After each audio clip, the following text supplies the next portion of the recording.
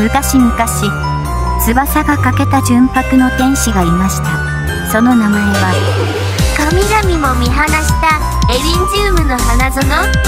さまよい続けた闇の中月が果汁を流したその下で我が心に届く運命の鐘が響いた。鏡命破壊救い神に問う。赤い人に染まる弟子は罪を食う。叶わぬ祈ついて鍵を探す寺の宮浮かぶ記憶胸を溶かす甘い罠。連れてかして熱い愛を飲み干して。ささやき出す悪魔の声に少女は惚れて羽をちぎって逃げました。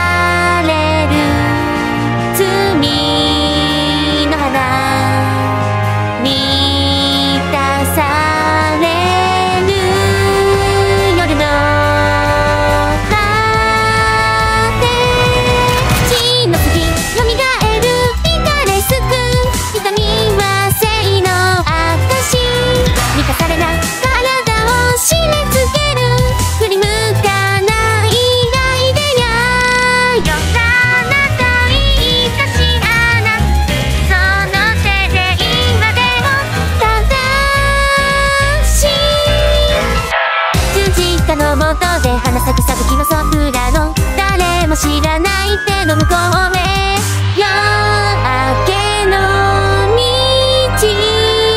く日